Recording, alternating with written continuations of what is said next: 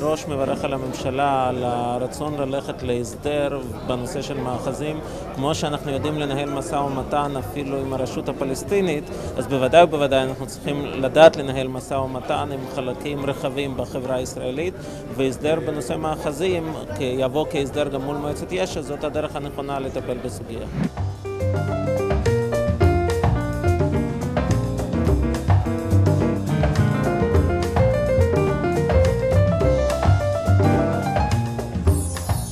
תמיד אומר, יש הרבה דמיון בין שח לפוליטיקה, אתה צריך לצפות מהלכים, אבל פוליטיקה זה שח שכל רגע השחקן שמולך או מישהו שלישי יכול לסובב לך את הלוח, לקחת כמה כלים מהלוח, או בכלל להפוך אותו עליך. זאב אלקין